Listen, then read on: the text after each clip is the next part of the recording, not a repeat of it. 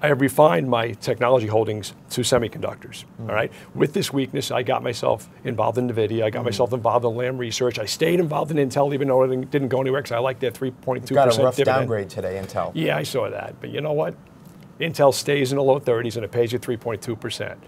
and they're heavily involved in this driverless auto theme that everyone's crazy about. NVIDIA. I mean, can we well, talk about NVIDIA? I mean, well, what, NVIDIA, what's going on with NVIDIA? Well, not only the driverless autos, uh, but artificial intelligence, blockchain. I mean, they have their hand in everything that's relevant right now. So while it's widely overvalued by traditional valuation metrics, I do think you want exposure to NVIDIA. Not, not I didn't buy as much as I want because it's a dangerous stock.